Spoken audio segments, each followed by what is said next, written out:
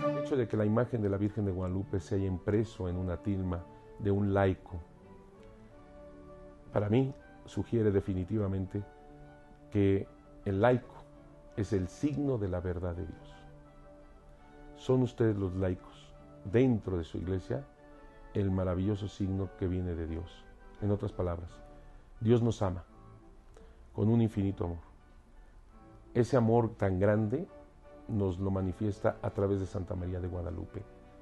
Y él, Dios, al final de cuentas es Dios a través de Guadalupe, que ha tomado al laico como el signo de su inmenso amor, de su verdad para el mundo entero, siempre dentro de su iglesia católica.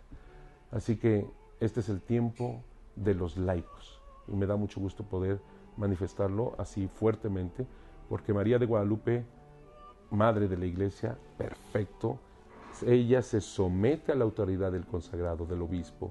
Ella pone en su lugar al obispo. Tienes que ir con él y él tiene que aprobar. Y es él el dueño del mensaje y de la imagen. Pero pone en actividad, en labor, en misión, en vocación a un laico vivo dentro de la iglesia. Importantísimo. Que Dios los bendiga mucho.